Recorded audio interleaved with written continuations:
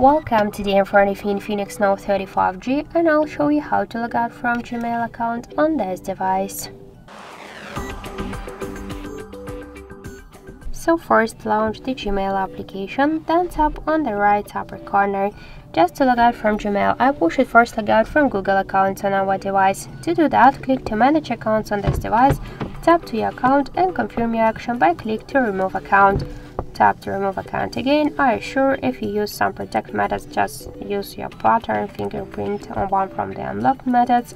Now in Google account settings, we could see that we just successfully logged out from the Google account. So let's go back to the application and in the app, we could see also that we just successfully logged out from Gmail app. So that's it, thank you for watching and if you like this video, leave thumbs up and subscribe.